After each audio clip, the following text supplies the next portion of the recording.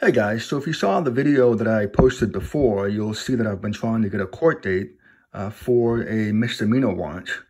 And, you know, I haven't been assigned a department. I've simply been told to show up at the Hall of Justice, despite the fact that other cases have been assigned to specific departments. So let's go ahead and figure out what's going on. And here's the courthouses right here. That's the administration, court executive. Let's see what happens when you try to call. Here we go. And we've got a, whoops. Let's go ahead and get out of that one and let's go with 408 882 2700. There you go. That's the number. It matches that one. That's the administration. It's got pretty much everything in there. It should be a, a good central point that will get me transferred into the correct place. And how do I put this on speakerphone? Uh-oh. Let's see, speakerphone. Operations have been reduced or suspended during the COVID-19 pandemic. Information regarding changes to court operations can be found by visiting the court's website at www.scscourt.org. If you have a specific question for the court, please press 8, then 0.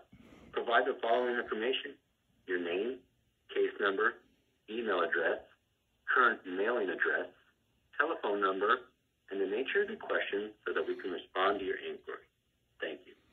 So it says, I've called it before, it says uh, 8 and 0. 8? Welcome. You have reached the Superior Court Administration Office. Our office hours are from 8:30 a.m. Please hold while I transfer your call. No messages may be taken for this mailbox. Thank you for calling. So you can see that uh, there's obviously a problem, right? And what, we, what I talked about before was this idea that we have a um, a black box, some sort of you know star chamber of uh, justice or of a legal system that's claiming to be a justice system. And one of the ways that you end up in this position is by not making things transparent. Now, apparently, you know, there's supposed to be something called the Brown Act.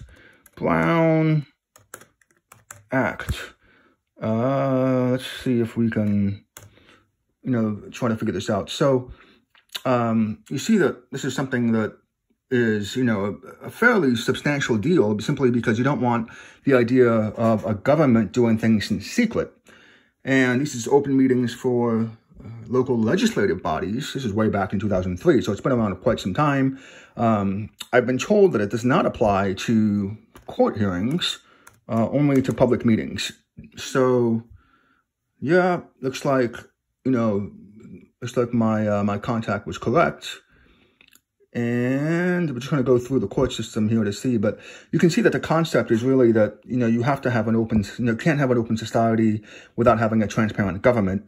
And you certainly can't have a democratic republic that's a functioning one without having a system in place that allows people to, uh, you know, essentially figure out what's going on on their own. And this was the promise of the internet. Uh, the whole idea was that you didn't have to rely on, you know, people within the government. You could simply go online and figure out what's going on. And this would improve democracy.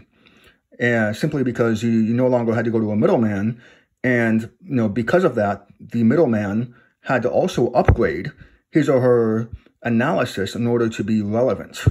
And what's really happened here is that because of these old, older technological systems, you've got on the one hand a newspaper business and a media business that just failed to upgrade content um, and you know as a result became irrelevant, especially with the rise of uh, social media.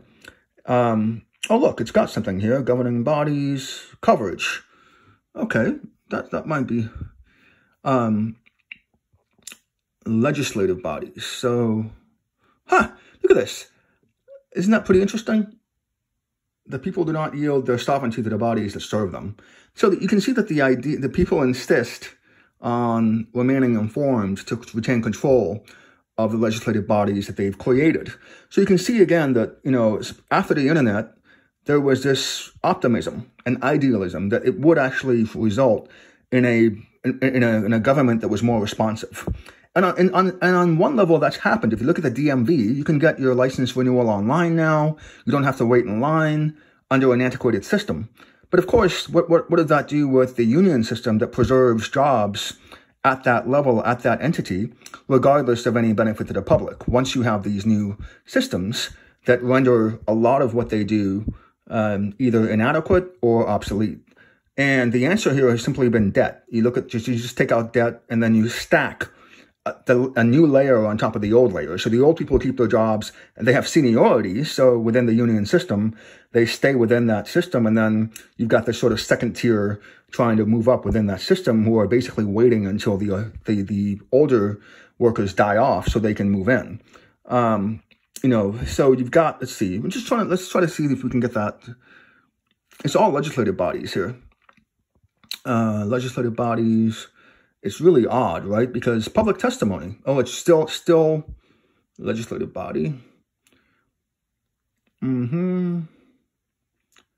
Yeah, it looks like you're, you're still looking at a situation where you're really dealing with city councils. That was really one of the main targets here. Um, so you can't have a legislative body whether it's a city council or a state legislature going in and trying to, you know, uh, do things behind people's backs. Although there are exceptions because, as you saw, let's say there's negotiations with unions that settle or with employees that settle.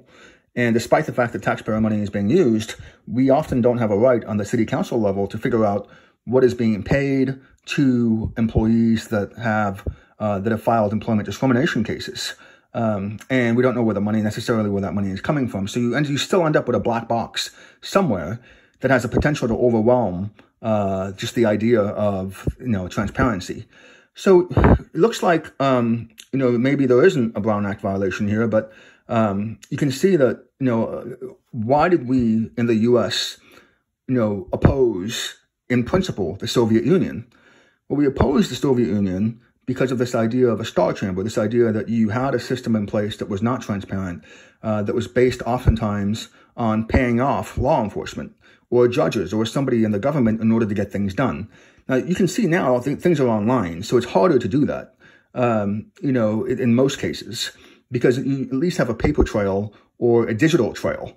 That wasn't the case 30, 40, 50 years ago, right? If you, you could be arrested by a police officer, let's take the worst case scenario, uh, in the Soviet Union, and you would you wouldn't necessarily know what to do. So you would have to go to a clerk and maybe pay that clerk off in order to figure out where your case was. Uh, you could have default judgments. You could only you can only imagine the level of corruption that's possible within a system that's not transparent. That was the complaint that you know, that the U.S. made against the Soviet Union, that it was not a transparent system. Um, and in response, the Soviet Union essentially privatized a lot of its services um, after it collapsed in 1991 and, you know, basically had its empire crack up. And so, you know, you've got this idea, you know, in theory that the United States is different from the Soviet Union, but in fact, it's quite similar because all empires are similar in, to the extent that they, did, that they try to extend influence uh, over people that are different from them in foreign lands, which always has, you know, which always gives rise to the opportunity for miscommunication and misunderstanding, which eventually, if it's not addressed, eventually creates a breakup or a uh, or levels of unsustainable debt in order to cover up mistakes, whether that's payoffs to civilians killed uh, in Iraq or overseas, uh, whether that's simply just secret nuclear testing grounds, um, you know, that expose local populations outside the empire's main base to uh, danger and that's actually the, the United States as well. A lot of people don't know that. I thought the Puerto Rico, Puerto Rico, Puerto Rico nuclear testing. Because you have to remember that, um, oh, look at that. So, so it looks like that, you know, because it was already used. Um, this isn't giving me the, the searches I'm looking at here, but let me take a look over here. Uh, Puerto Rico nuclear testing. Um, but you know, it's not just the Soviet Union that did this, and well, that's odd. Let's see if we can do a little bit better, better job over here. Puerto Rico, USA, Gov, secret testing. Let's try that. Well, still got the internet there. Um, you can try this on your own, I guess. Uh, let me see if I can go to a different. Uh, let's try this one. Will it work over here or? Yeah. So we go back over here. Um, wow, this has got something here, but not the one I'm looking for. Um, let's try that one. You know, there's just, you know, remember the internet is, is, is not the full sort of smorgasbord of information.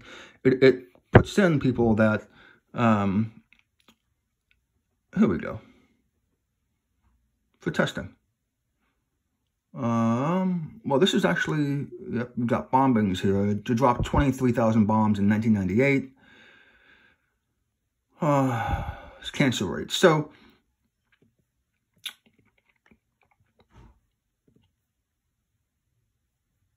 depleted uranium. That's what I was looking for. Um, you see how it's a little bit difficult to find radiation experiments. There you go. Um, I mean, you can just go on. This isn't. This didn't just happen to, to one country, right? This is what empires do. It's not just the Soviet Union uh, that does this. Remember, it's just it's a part of of empire. Um, this is just what happens when you have an empire, especially one that's based on debt. The, the, Soviet Union tried to get there without debt. That was what, what was interesting, and it failed because it was competing with essentially a competitor that had unlimited money uh, to bribe its way through friendships and allies uh, in order to oppose the Soviet Union. So we have this idea of, of the Soviet Union being completely corrupt and being and censoring uh, critics, which it, which it did. Stalin actually went all the way over to Mexico, Mexico to kill Trotsky. Um, let's see, Stalin murdered Trotsky.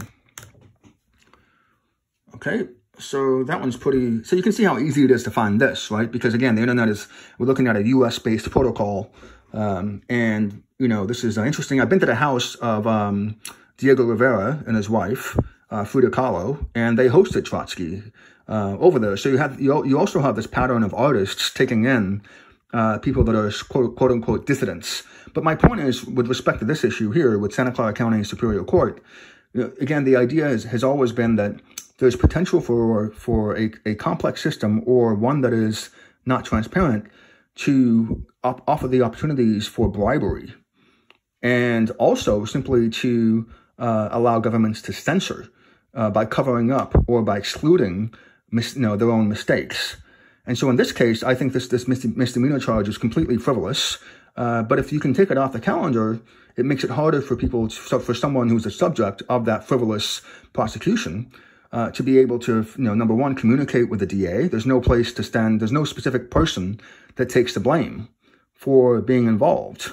And so it very much is similar to a covert agent uh, trying to operate uh, against a dissident of some sort, uh, which is again something we complained about the Soviet Union doing. But of course, the Soviet Union had to, you know, this is also another feature of empires is that this whole thing, this idea of projecting influence uh, among a class of people that are different than you are, based on military power, inevitably results in human rights violations. And so what ends up happening is the honorable people within those countries try to, you know, publish. They try, try to do what journalism is supposed to do and reveal these facts. At which point, because again, the, the concept of an, of an empire is that it always becomes corrupt because it always tries to overextend itself. At which point, censorship becomes the only option. And people think that the internet has allowed more transparency, but I'm, I'm sort of, you know, you have to look at it from the other perspective as well, that it, you know, a digital world is actually a world that can be more easily manipulated in terms of information simply by not putting something there. And we know that the we know that we're not looking at we know we're looking at a, a censorable uh, platform because because there's been instances where Hollywood stars have had their photos leaked online, and suddenly all those photos have disappeared after about a week. So we know that when the people involved, whether private corporations or the government or a combination of both, if they really want to, they can make information disappear. Which means that as of today, right, the information that you see is not the, the, the complete buffet of information uh, that is out there. It's simply what the corporations and the government want you to see. And that's really been another battle within empires is, is do you tell the truth and then, and then risk losing your status as world arbiter, no, as, as world, you know, arbiter of morality and human rights and so on, which then allows you to promulgate a legal platform that you can export along with a security platform, along with, you know, a banking platform and so on. Um, you know, the idea of an empire ultimately is exporting your ideas and your values. So if you really do want the truth, you run the risk of allowing too much information, at which point, you know, if you're right, the critics prevail and you're no, long, you're no longer taken seriously on the international level, which then creates problems in terms of exporting your, your culture and everything that goes along with that, especially, you know, the idea that other countries will benefit from your presence. And you know, again, this has always been a sort of cover up whenever an empire, you know, gets involved in minority affairs, whether domestically or, or abroad. The idea has always been that whether it's the Spanish Catholics coming into Mexico and stealing the gold and silver, um, while building churches and roads, uh, the, the, well, not so much the roads, but only within the Zocalo area, um, whether it's you know the Russians you know testing uh, nuclear weapons in other countries or taking over farming collectives, uh, individual farmers in order to increase food security. Uh, that was sorry, that was the Soviet Union. Um, you know, and, and, whether it's the United States testing using Puerto Rico, one of its you know um, its colonies essentially for testing, it's all the same story. And with the digital you know situation you know, we now have an, the idea that we're stuck in this era of fake news, but not really. It's always been fake news. It's always been propaganda. And the reason for that is because of that tension between the empire needing to look good in order to export its debt, its currency, and its values, all of which are a part and parcel of the same uh, package. All, you know, balanced with the idea that if there is too much truth, too much transparency, then you can't do all the things that the empire wants to do. Because in many cases, it is really in a position where it's trying to exploit minorities domestically, uh, whether by elevating a few of them to the top in order to, say, you know, divert attention from the fact that, uh, say, African Americans as a group still have a zero net worth. Uh, African Americans or something else, right? Um, net worth Federal Reserve study.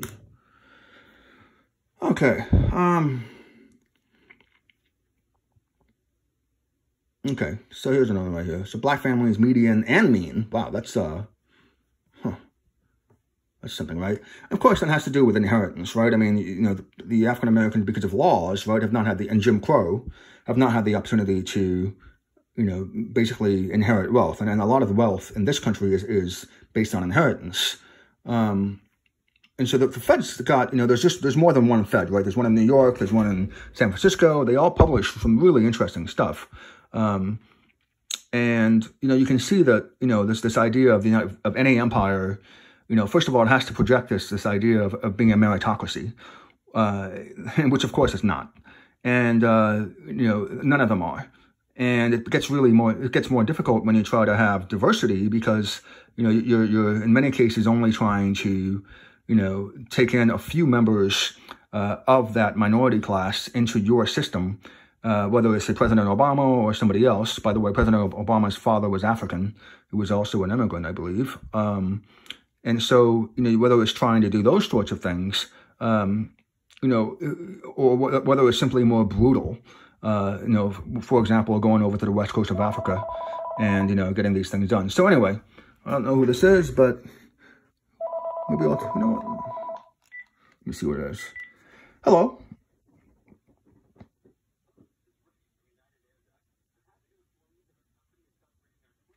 Yeah, that's that's just a. Uh... With you. Only for this month, we have huge discounts on our duct cleaning service. Only for this month, we.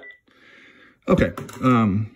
I've got this number on a do not call list, um, by the way, so I'm kind of surprised I'm getting these robocalls.